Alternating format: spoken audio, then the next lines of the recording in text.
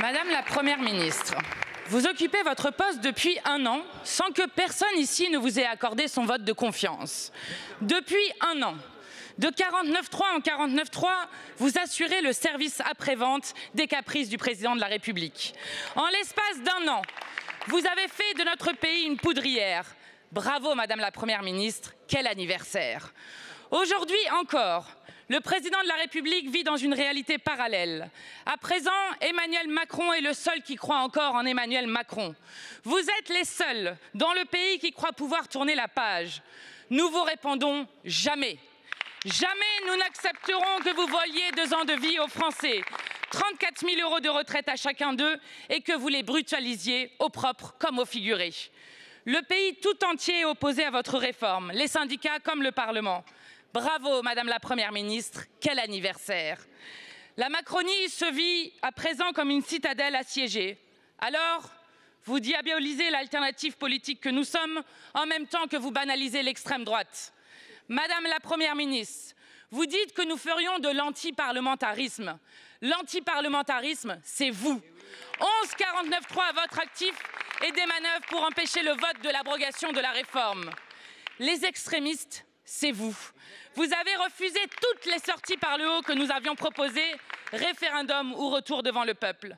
Jamais un gouvernement n'avait eu aussi peur du peuple. Il vous reste à comprendre qu'en démocratie, il est seul souverain. Madame la Première ministre, quand comprendrez-vous que la représentation nationale n'est ni un paillasson ni une chambre d'enregistrement des lubies du président? Madame la Première ministre, joyeux anniversaire surtout. N'hésitez pas à partir, vous, la Ve République et votre réforme des retraites. Je vous remercie. La parole est à Madame la Première ministre. Merci Madame la Présidente, Mesdames et Messieurs les députés, Madame la Présidente Panot. Alors on l'a bien compris, vous êtes définitivement fâchés avec nos institutions. Parce que le programme que nous mettons en œuvre, Madame la Présidente Panot, c'est celui sur lequel le Président de la République a été élu. Et définitivement, vous ne l'admettez pas, mais ce n'est pas Jean-Luc Mélenchon, mais Emmanuel Macron que les Français ont choisi. Et je vous le confirme, nous continuerons à mettre en œuvre le programme pour lequel le Président de la République a été élu. Et vous, de votre côté, Madame la Présidente Panot, c'est grave ce que vous faites. Vous mentez aux Français, vous mentez aux Français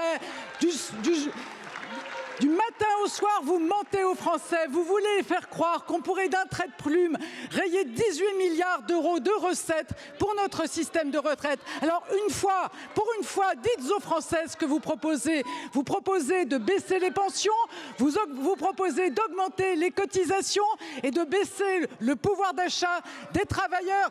Pour une fois, dites la vérité, voyez Madame Panot. Et vous, vraiment, vous êtes fâchés aussi avec le fonctionnement de cette Assemblée nationale. Vous avez fait de l'obstruction, de l'obstruction. À cause de vous, Madame la Présidente Panot, malgré 80 heures, 80 heures de débat, vos collègues n'ont pas pu examiner au-delà de l'article 3 de la réforme des retraites. Et maintenant, après l'obstruction d'un texte qui a été approuvé, qui a été validé par le Conseil, mais qui a été validé par le Conseil constitutionnel, qu'est-ce que vous proposez aujourd'hui? Vous proposez d'abroger la réforme. C'est tout à fait représentatif de ce que vous êtes, Madame la Présidente Panot, et de ce que vous représente votre groupe. Des propositions Jamais. Mais par contre, attiser les colères, empêcher le Parlement de fonctionner, c'est ça votre mode de fonctionnement. Pour notre, silence, pour notre part, ce que nous voulons, c'est proposer des réponses aux Français et pas plus tard que tout à l'heure, j'engagerai des concertations avec les organisations syndicales et patronales pour construire des nouveaux progrès.